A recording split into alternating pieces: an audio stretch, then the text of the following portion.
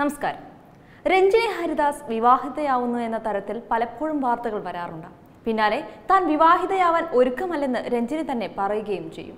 എന്നാൽ ഇക്കഴിഞ്ഞ Valentine's day ദിനത്തിൽ രഞ്ജിനി പങ്കുവച്ച ഫോട്ടോയും അതിന് നൽകിയ ക്യാപ്ഷനും കണ്ടതോടെ താരം വീണ്ടും പ്രണയത്തിലാണെന്ന തരത്തിലുള്ള റിപ്പോർട്ടുകൾ എത്തി അതെ താൻ പ്രണയത്തിലാണെന്ന് പറയുകയാണ് രഞ്ജിനി ഇപ്പോൾ. പതിനാറ് വർഷത്തോളമായി അടുത്ത് പരിചയമുള്ള ശരത്താണ് കാമുകൻ. ഒരു തവണ വിവാഹിതനായ സുഹൃത്തുമായി വിവാഹം കഴിക്കാൻ തീരുമാനിച്ചിട്ടില്ലെന്നാണ് ഒരു സ്വകാര്യ മാധ്യമത്തിന് നൽകിയ അഭിമുഖത്തിലൂടെ രഞ്ജിനി പറയുന്നത്. വിശദമായി നമുക്ക് പറയാം.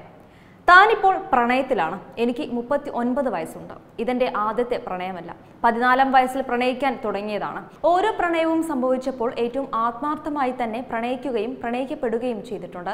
പക്ഷേ എന്തൊക്കെയോ കാരണങ്ങളാൽ ഒന്നും സക്സസ് ആയില്ല. ഇപ്പോൾ സോഷ്യൽ മീഡിയയിൽ ഇട്ട പ്രണയ സന്ദേശം ശരത്തിനുള്ളതാണ്. പതിനാറ് വർഷത്തോളമായിട്ടുള്ള എന്റെ സുഹൃത്താണ് ശരത്. പക്ഷേ പ്രണയം തുടങ്ങിയത് ഇപ്പോഴാണെന്ന് മാത്രം. ആൾ വിവാഹിതനായിരുന്നു. ഞാനാകട്ടെ മറ്റൊരു റിലേഷൻഷിപ്പിലും രണ്ടുപേരും സിംഗിൾ ആയതും ഞങ്ങൾക്കിടയിൽ പ്രണയം സംഭവിച്ചതും ഇപ്പോഴാണ്. പക്ഷേ ഇത് വിവാഹത്തിലേക്ക് കടക്കുമോ എന്ന് എനിക്ക് അറിയില്ല. കല്യാണം കഴിക്കണം എന്ന കൺസെപ്റ്റ് ഇന്നും എനിക്ക് സ്വീകാര്യമല്ല. അതിന്റെ ലീഗൽ കോൺട്രാക്ട് സൈഡ് ഇപ്പോഴും എനിക്ക് മനസ്സിലാക്കാൻ സാധിച്ചിട്ടില്ല. കല്യാണം കഴിച്ചാൽ പ്രഷർ കൂടും. എന്റെ ചുറ്റും ഞാനത് കാണുന്നുണ്ട്. എന്റെ സ്വഭാവം എനിക്ക് നന്നായി അറിയാം. ഈസിയായി ഹാൻഡിൽ ചെയ്യാൻ പറ്റുന്ന ഒരാളല്ല ഞാൻ. ഈഗോയിസ്റ്റും ദേഷ്യക്കാരിയുമൊക്കെയാണ് എന്റെ കൂടെ നിന്നാൽ മറ്റൊരാൾക്ക് ഈഗോ അടിക്കും. എല്ലാവരെയും ഒരുപോലെ ട്രീറ്റ് ചെയ്യുന്ന ആളാണ്. അതൊക്കെ എല്ലാവർക്കും സ്വീകരിക്കാൻ പറ്റില്ല. പിന്നെ നാളെ ഒരാൾ എങ്ങനെയൊക്കെ മാറുമെന്ന് നമുക്ക് അറിയില്ലല്ലോ. നാളെക്കുറിച്ച് പറയാൻ നാം ആളല്ല. തൽക്കാലം വിവാഹം കഴിക്കാൻ പ്ലാനില്ല രണ്ടായിരത്തി ഏഴ് മുതൽ രണ്ടായിരത്തി പതിനാല് വരെ ഏഷ്യാനെറ്റിലായിരുന്നു ഞാൻ. ഇപ്പോൾ ആ ചാനൽ ജോലി ചെയ്യുന്നില്ല. അപ്പോൾ ആളുകൾ കരുതുന്നത് ഞാൻ ഔട്ടായെന്നാണ് പക്ഷേ ഞാൻ മറ്റു ചാനലുകളിൽ പരിപാടി അവതരിപ്പിക്കുന്നുണ്ട്.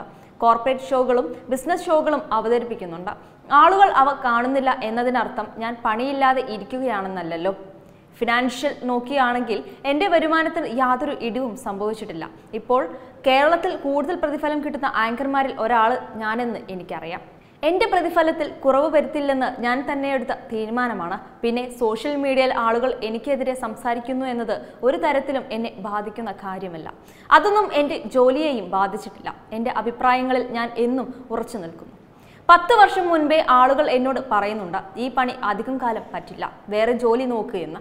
പക്ഷെ ഇന്നും ഞാനിവിടെ തന്നെയുണ്ട്. റിപ്പീറ്റ് ക്ലയൻസ് ഉണ്ട് എനിക്ക്. അതായത് ഇരുപത് വർഷമായി അവരുടെ പരിപാടിക്ക് ആങ്കർ ചെയ്യാൻ എന്നെ വിളിക്കാറുള്ള തരത്തിലുള്ള ക്ലയൻസ്. നല്ല എഡ്യൂക്കേഷൻ ക്വാളിഫിക്കേഷൻ ഉള്ളതുകൊണ്ട് ലോകത്ത് എവിടെ വേണമെങ്കിലും പോയി നല്ല സാലറി ഉള്ള ജോലി കിട്ടേണ്ട കാപ്പബിലിറ്റിയും എനിക്കുണ്ട്. ഈ ജോലി ഒരിക്കലും എനിക്ക് മടുത്തിട്ടില്ല. മാസത്തിൽ അഞ്ചോ എട്ടോ ദിവസം മാത്രം ജോലി ചെയ്താൽ മതി.